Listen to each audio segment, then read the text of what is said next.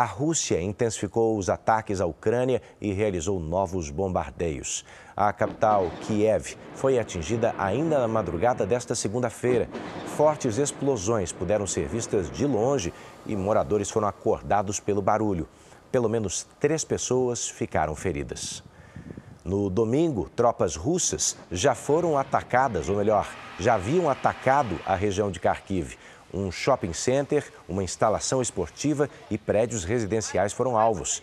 Mais de 40 pessoas ficaram feridas, entre elas cinco crianças.